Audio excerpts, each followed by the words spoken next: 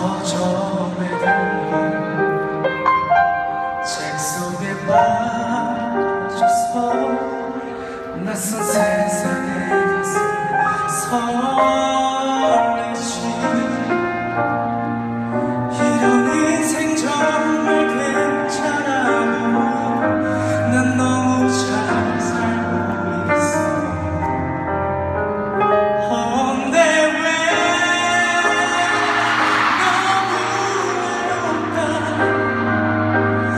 Ooh.